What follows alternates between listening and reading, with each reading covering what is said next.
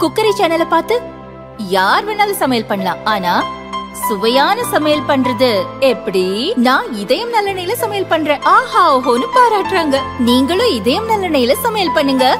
பாராட்ட வாங்குங்க. தினம் தோறும் வாங்குவே இதயம் இதயம்.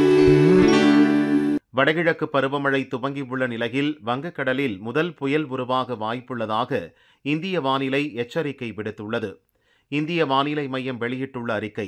வடக்கு அந்தமான் கடற்பகுதியில் நேற்று உருவான வளிமண்டல மேலடுக்கு சுழற்சி தொடர்ந்து அதே இடத்தில் நீடிக்கிறது. இதன் தாக்கத்தால் அடுத்த இருபத்தி நான்கு மணி நேரத்தில் கிழக்கு மத்திய வங்கக்கடல் மற்றும் அதை ஒட்டிய வடக்கு அந்தமான் கடல் பகுதியில் குறைந்த காற்றழுத்த தாழ்வு பகுதி உருவாக வாய்ப்புள்ளது. இந்த காற்றழுத்த தாழ்வு பகுதி மேற்கு வடமேற்கு திசையில் தொடர்ந்து நகரும். இருபத்தி இரண்டாம் தேதி காலை காற்றழுத்த தாழ்வு மண்டலமாக வலுப்பெறும். தொடர்ந்து இருபத்தி மூன்றாம் தேதி கிழக்கு மத்திய வங்கக்கடலில் புயலாக மாறவும் வாய்ப்புள்ளது. இந்த புயல் தமிழகத்துக்கு வருமா என்ற கேள்விக்கும் இந்திய வானிலை பதிலளித்துள்ளது.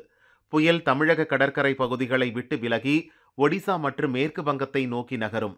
வடமேற்கு திசையில் நகர்ந்து ஒடிசா மேற்கு வங்கம் இடையே இருபத்தி நான்காம் தேதி காலைக்குள் கரையை கடக்கும் என இந்திய வானிலை மையம் எச்சரித்துள்ளது. புதிதாக உருவாக உள்ள இந்த புயலுக்கு கத்தார் நாட்டின் பரிந்துரைப்படி டானா என பெயர் சூட்டப்பட்டுள்ளது.